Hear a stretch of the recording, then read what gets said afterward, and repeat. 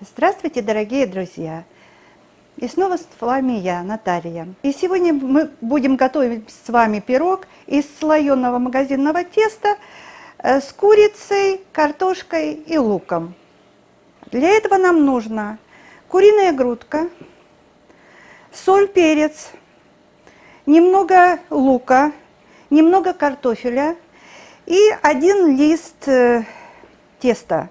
У меня тесто вот такое, вот я вот такое покупаю. Здесь два листа, но нам одного листа вполне достаточно. Если вы хотите делать большой пирог, то вы можете совместить два листа и сделать побольше его. Начинаем с курицы. Мы ее будем резать очень тонкими полосочками, чтобы она успела у нас прожариться. Тесто это очень быстро готовится, поэтому и курица нам надо, чтобы была достаточно готова. Ну, вот я делаю совершенно тоненькие кусочки.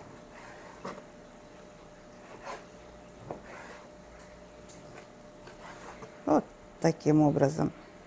Курицу мы порезали вот такими кусочками, тоненькими, небольшими.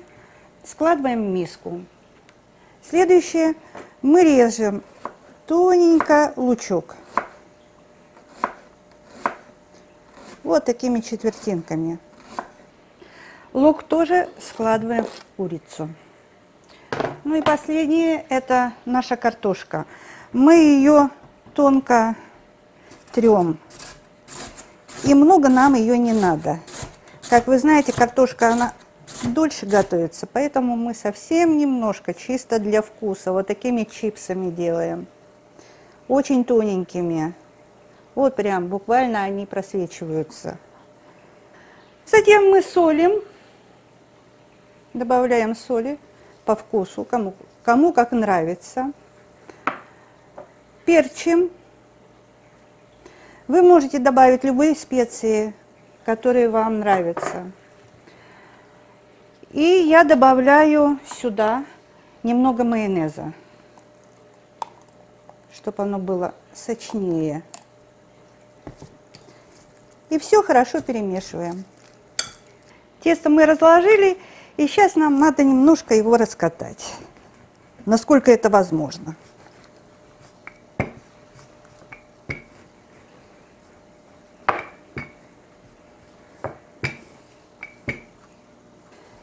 Так, выкладываем наш фарш на серединку.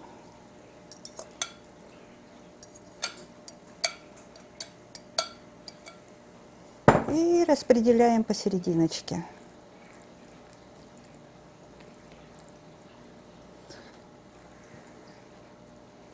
Так, чтобы картошечка везде была. Все, чтобы было равномерно. Вот так вот. Вот таким образом.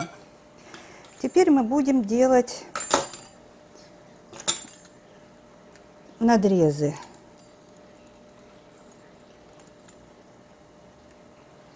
Вот так.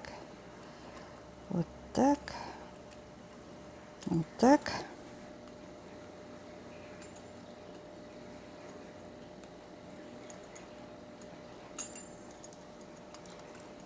Я разболтала одно яйцо и немножко добавила молока. Мы должны смазать, чтобы оно немножко прилипло друг к дружке, чтобы оно не разошлось. Ну и сверху надо будет смазывать. Теперь мы складываем вот так вот по очереди. Одну штучку, другую, как бы косичку плетем. Делаем как народ говорит, мумию. Вот так вот.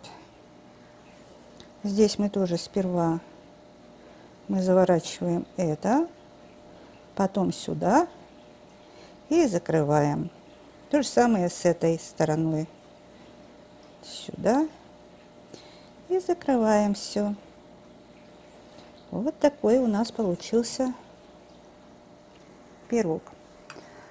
Сверху мы смазываем яйцом.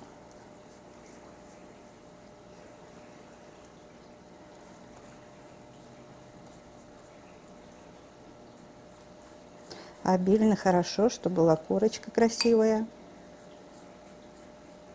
Ну и последнее мы посыпаем кунжутом, сезамом. Оно тогда будет иметь более приятный вкус, ну и более красиво. В принципе, она готова для того, чтобы поставить ее в духовку. Духовка у нас разогрелась до 180 градусов, и мы запускаем наш пирог нашу духовку на 35 минут. Вот так вот. И посмотрим, что у нас получится. Прошло 35 минут, и время вытаскивать наш пирог.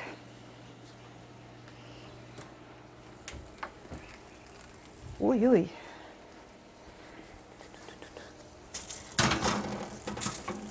Пропеклось хорошо.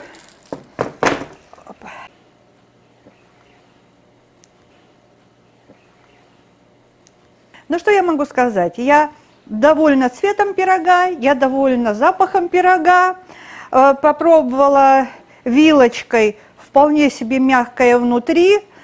Но разрезать буду уже, когда будет совсем ну, приостывший, а то сейчас совсем-совсем горячий. Ну, а вам спасибо большое. Приятного всем аппетита.